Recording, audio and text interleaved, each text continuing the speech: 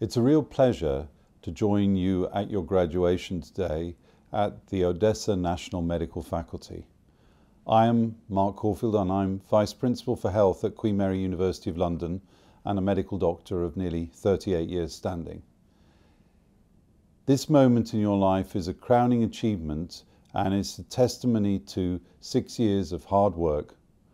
We at Queen Mary are standing shoulder to shoulder with the Odessa National Medical Faculty to support your training and to offer elective periods for attachment uh, to our hospitals here in London.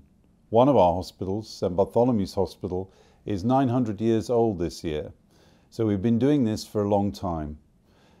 And it's been a pleasure to welcome your first three students for the last six weeks who have been working in major trauma, in cardiology and in obstetrics.